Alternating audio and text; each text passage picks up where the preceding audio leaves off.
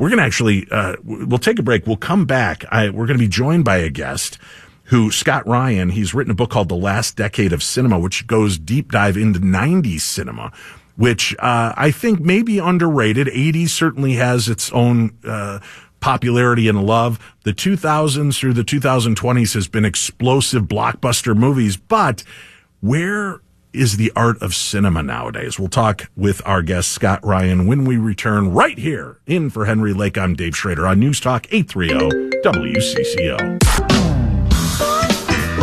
Good evening, everybody. Thank you for tuning in and spending a little time. Henry Lake is at the Timberwolves game. Sitting in, I'm Dave Schrader. Scott Ryan joins us now, a pop culture historian and expert on the entertainment industry.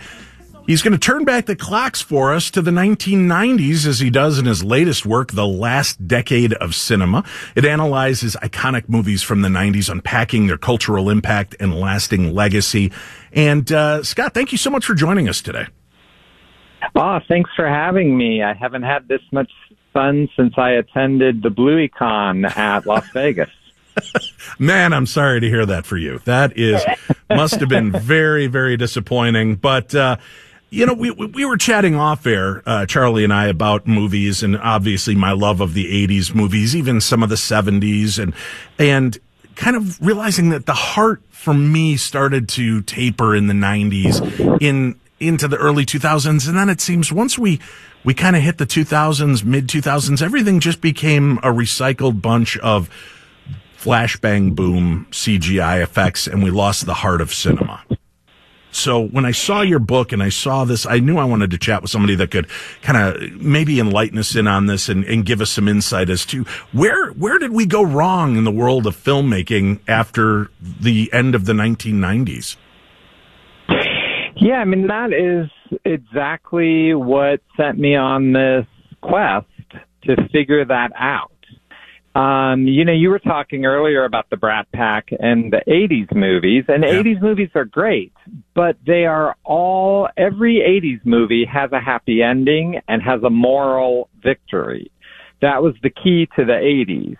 In the 90s, something really crazy happened, which was you could do anything you wanted.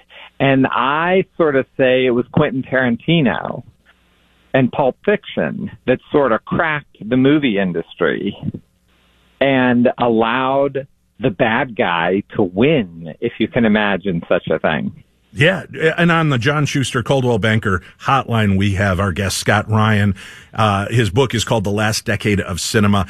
I couldn't agree with you more. That is an interesting element of it, right? But that was uh, the rule of the the villain winning was taken away very early on when the the movie ratings uh, they they were they felt they were celebrating the gangsters in the 30s and 40s and kind of put that in place to where the gangsters couldn't win. They couldn't live. They couldn't survive. So there had to be a clean, tidy, the government wins kind of thing. But when you come into the 70s, I mean, you've got movies like The Godfather. Those were not real feel good movies. And there were some standouts, The Deer Hunter and, and some others that I can think of that don't necessarily fit that parameter. But you're right. The 80s kind of encapsulated that newer, I guess, robust, everything's happy and we can wrap it up in a, in a two hour bubble kind of vibe. And, and then bringing us back into that is the Quentin Tarantino era of allowing us to see different sides of stories that maybe had been played out before, but seeing it from a different perspective.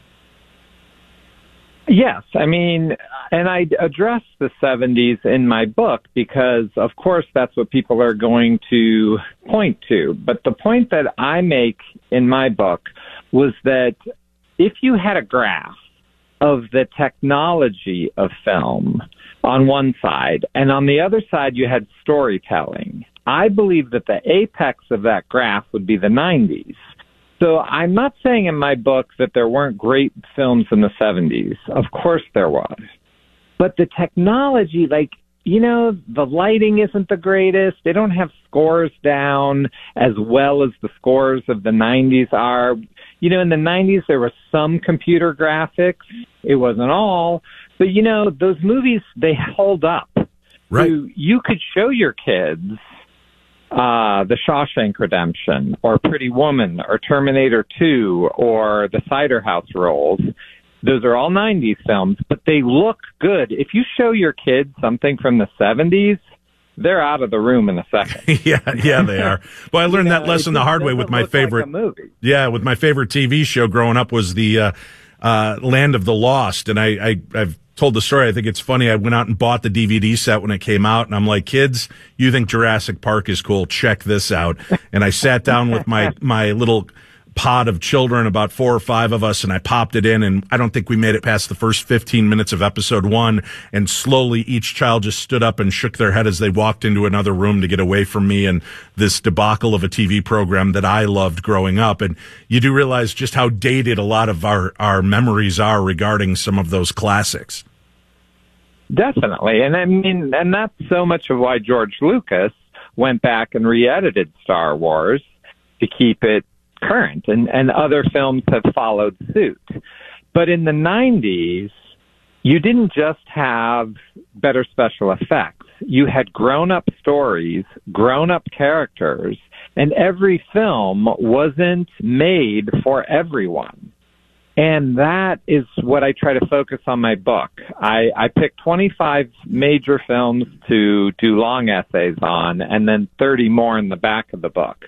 But I didn't want to pick the same type of movie to show you that we had options where now if you're going to the movie theater today, you're going to either see a remake or a sequel. And those are your choices. Right. The the reboots, which is a much better way of saying remake, right? Because people are easily right. fooled by that title. It is it's remarkable how lack of ingenuity Hollywood seems to be showing. Every major film house I, shouldn't say that. There are a few that have taken a few stretches. You've got Blumhouse and and some of these that have gone out and tried to examine different genres in a different way and and with varying success. Uh, you know, we've had the cookie cutter success of shows like, um, you know, the, the Marvel movies and Godzilla franchise and things. And I know that that, that is not necessarily your wheelhouse. To me, as a nerd growing up, you know, from the 60s, 70s, 80s, it's fun for me to see that all of the kids that I grew up with are now in charge of movie studios and I'm getting to see my childhood, uh, you know, cartoons come to life in a, in a new, exciting way. But, it also was like, okay, good. We've we've been there, done that. What can we do next? And it seems like that just continues, as opposed to anything else that's being offered up to really kind of shake the paradigm of movie going experiences. Yeah, I mean there was there was a movie that your parents could see, that a teenager could see. You know, in the 90s, you had movies like Clueless and Pump Up the Volume and She's All That and 10 Things I Hate About You, all made for teenagers. But they're good films. It wasn't just for teenagers. A grown up could watch it as well there were older, you know, movies for women. There's uh, Fried Green Tomatoes is out there. There's westerns with Unforgiven. And these all were at the cinema. This wasn't like you had to go find them. I've had a couple people tell me, well, there's options out there, but you know, I got to subscribe to 47 uh, streaming services to get to them. Right. Back in my day, I could go to the video store and they were all there it didn't matter to me if it was a Universal picture or a Netflix picture. You know what I mean? In the video store, they were all side by side. Right. And I do miss, and I love the fact that you mentioned in, in the write ups that arguing about films in a video store was our version of Twitter, right? And, and there was passion and love behind it and people having those uh, existential conversations about what film was and what film should be. And you don't see that kind of uh, resonance anywhere anymore. Uh, people don't really have that great common bond of getting together to discuss these things. You, you know, we can tune in and, and check out our favorite uh, critic, but you know, for my part, most critics I think fall short of what or who the movie was directed towards anyway. Right. And when you were in the video store and three of you went in, you know, you pick a movie, I pick a movie, he picks a movie, and we, you would defend your movie. You would say why you should see this, and you're convincing the other person. And they're like, you know what? Yeah. Yeah, let's get that one. And we were all friends. We didn't unfriend them. Because they didn't want to see your movie. Um, it was all okay. I'm I'm gonna sit down and and we're gonna watch Reality Bites. I wanted to see singles, but I'll try your movie. And that happened in the video store. I mean, Yeah. anyone our age remembers arguing with someone in the aisle of the video store trying to get them to get your movie. Right. And, and I, listen, had I not had those exchanges, I would have missed out on the Boondock Saints. Right, which is one of my favorite movies of all time now that came out in the 90s and kind of came and went without much uh, fanfare at the time. Run, Lola, Run, and so many other great movies. We do need to take a quick break. Our guest is online with us right now, Scott Ryan, and his book is called The Last Decade of Cinema on the John Schuster Coldwell Banker Hotline. I'm also keeping an eye on the StylesFinancial.com talk and text line. Weigh in. What are your thoughts on the movies of the 90s? Which generation got it right? What films stood out to you the most? We'll talk about that when we return. In for Henry Lake, I'm Dave Schrader. This is News Talk 830 WCCO. Joining me on the John Schuster Coldwell Banker Hotline, we have Scott Ryan, author of The Last Decade of Cinema. You know, I'm also reminded, uh, Scott, that the music of the 80s also is part of what made movies stand out to me so well. But as, uh, Chris here in studio kept reminding me about 90s movies, and I, I, I'm like, wow, how could I have forgotten so many of these titles and the amazing music that came out of the 90s movies as well? Yeah, I mean, uh, Reality Bites, um, High Fidelity, probably bigger than that. Singles, uh, Lost Highway, Uh, Pulp Fiction, Pretty Woman, they all had huge soundtracks. Well, and then you get into the American Pie movies and Loser and so many of the other kind of iterations of that that also introduced us to a whole new great sound of music that, that I think people often forget about until you hear it played on the radio again. Yeah, and they were songs that you could only get on that soundtrack. And part of the thing that I write, I do a chapter on Clueless, and I say there's a big scene in that movie where Jewel sings all by myself, and that's never come out anywhere. It's not on any of her albums, and you know that stuff drives me crazy too. Let's release this stuff. Right. Yeah. Getting the music back out there and uh, getting the stories and, and the movies out there. However, I don't know if you've just seen this uh, insanity. They're remaking Don't Tell Mom the Babysitter's Dead. Um, Is that yeah, really a movie that was screaming, we need to have a new version of this, Scott? Is that is that really what was needed in 2024? Well, I mean, this is the problem. They don't want to put money into original ideas. One of the things I point out in my book is in 1994, the top 10 grossing films were all 10 original ideas, not a sequel, not an IP, not a superhero, not a comic book. 10 original ideas. In 2022, the top 10 were all sequels, IPs, or comic books. I mean, there's no originality. Have we?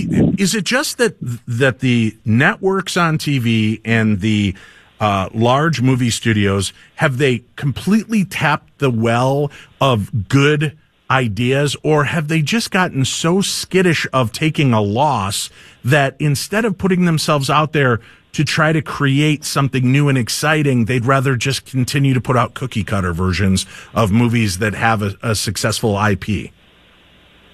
Well, I actually think that it is more fear based that they don't want to offend anyone. And part of these movies were they weren't none of us thought they were offensive in the 90s, but they made you uncomfortable. Spike Lee, I do a chapter on Spike Lee, Right. and he was all about making you so uncomfortable. Now, if there's anything uncomfortable, they're going to give you a trigger warning. They're going to tell you when it happens. They don't want you to be uncomfortable. And if you're not uncomfortable, you're not experienced humanity. You can't have a story that doesn't make you a little squeamish. That's Scott, not that how is- life works. That's perfect. You know what? That that's a great way to encapsulate that because there were movies that listen, I grew up in a time when a lot of slang and derogatory terms were slung without any thought into what the word meant or who it Right. was uh, making a shot at. And it was in a lot of the movies that I had those moments of Wow, that was, you know, to me, that was just a little throwaway line, and I didn't mean it in an offensive homosexual way. But now I realize just how cold that came off, or just, and it didn't mean that I've become part of the woke culture, but I became much more aware of the things I say and to whom I say them. Because there is that element of being uncomfortable and, and having that mirror of kind of our contemporary existence put back up in front of us. And it, it, it can make you a better person. It can make you step up. And not only are you getting the entertainment value, you're getting a lot of these different elements of it, but, but you're reminded that, that these are people too going through their own versions of stories. And it's not always just Well, about uh, middle class white kids. Well, a, a movie that I talk about with that is As Good as It Gets, which, you know, came out Right. in, I think, 97. Jack Nicholson's character is described as the worst human ever. Guess what? He's going to say racist things. He's going to say anti Semitic things. He's going to say homophobic things. You know why? Because he's the worst person ever. And he learns as his life is widened, as he meets uh, a gay character in Greg Kinnear, uh, African American in Cuba Gooding Jr., and his world gets wider. And by the end of the movie, he's not that horrible. If you made that movie today, he would have to start out at that position. Otherwise, they would say the actor and director had those feelings. Not that they're trying to teach us that when you widen your world, you start to realize that racism is pointless. And there's so much to be learned from 90s movies because of that, because these characters do horrible things. And those are some of the things that I point out throughout the book. It, it is interesting, right? Uh, because I, I will sit down with my children and watch movies that I grew up loving from the 80s and 70s. And I will realize just how quickly I become uncomfortable with the scenarios, the, uh, what's kind of the stereotypical way that uh, people are shown and presented, and that it's not done in a way that educates or enlightens people to maybe what they're going through, but more embraces, oh, look, Asian people are horrible drivers. Women are, Right. are gossipy. And, uh, right. It's, it's always just over the top versions of every character that was represented in these, in these different programs, which, you know, there, there's something for being woke and being aware of, the personalities that exist around us. But like you said, you know, you have to have a place and, and an understanding of the people that you're representing in the movies as well.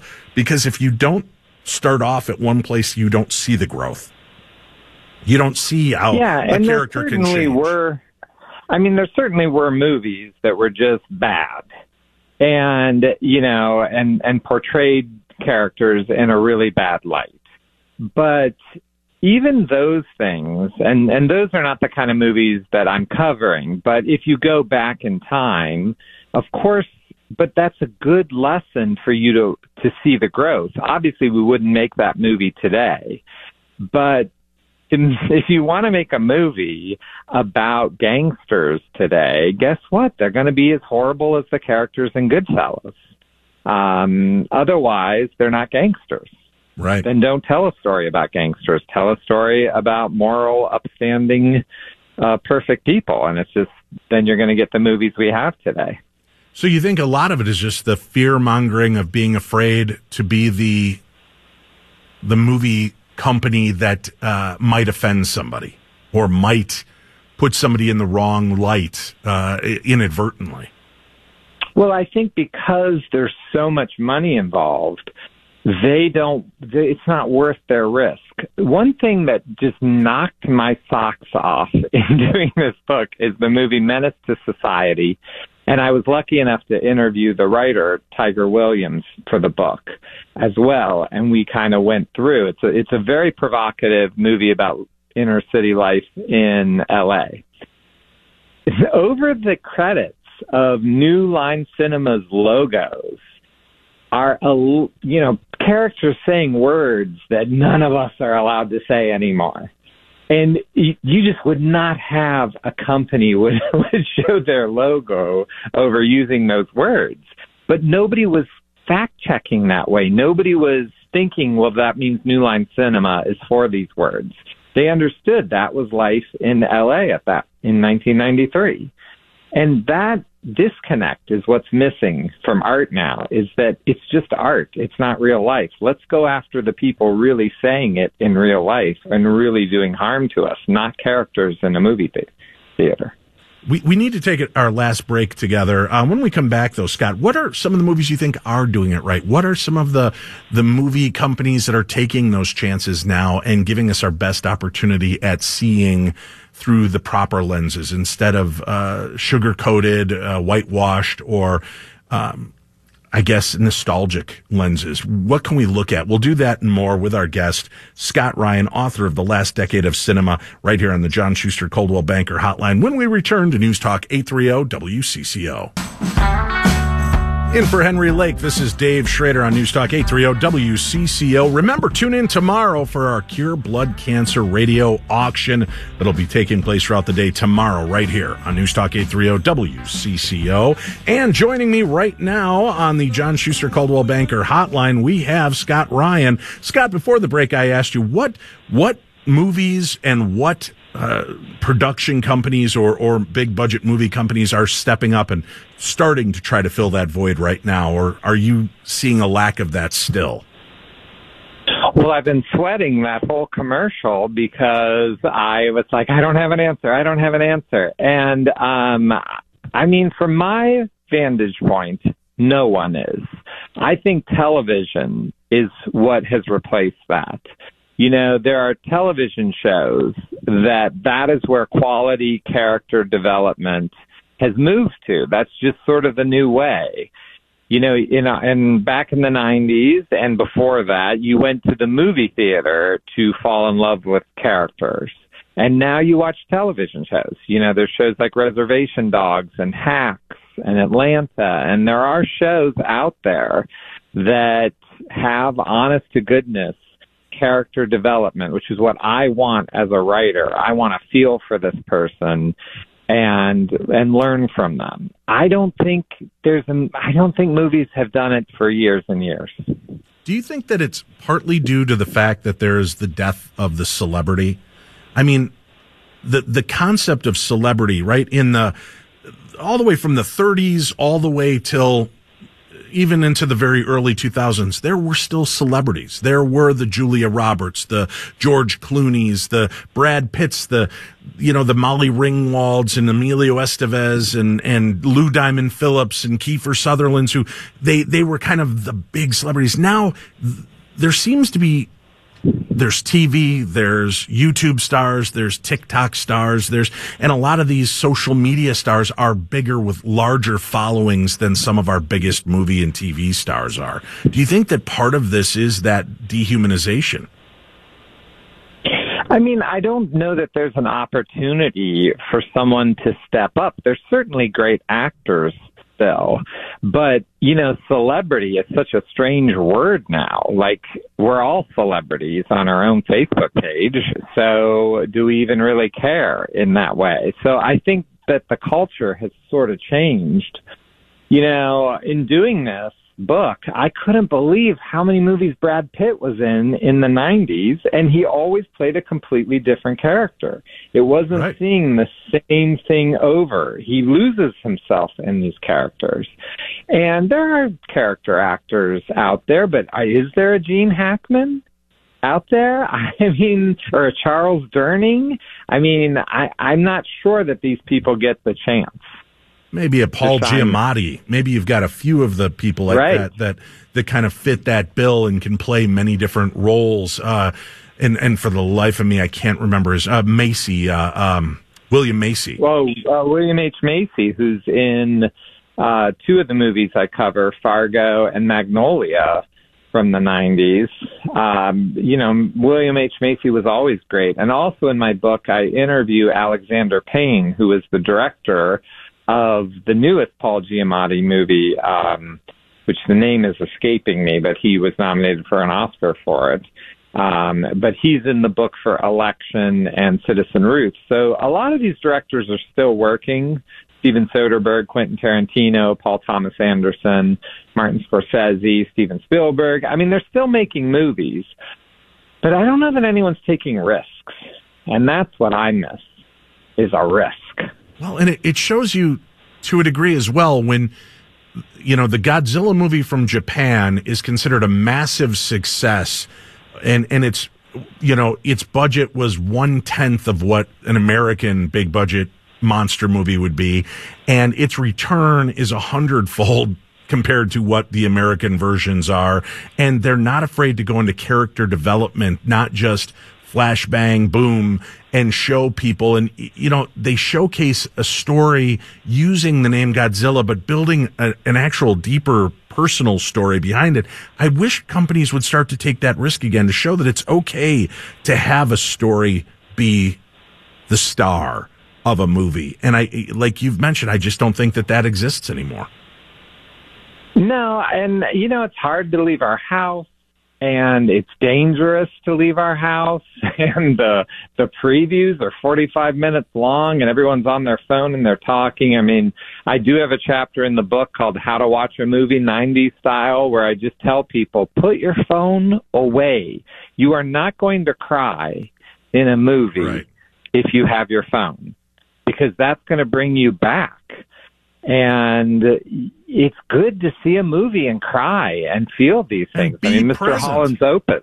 Exactly. That's another great one. Uh, Scott, thank you so much. We'll have a link up and information about your book, The Last Decade of Cinema. Thank you for uh, uh, sitting in and chatting with me for a little bit on this. Well, yeah, thank you. I really appreciate the invite. Thank you very much.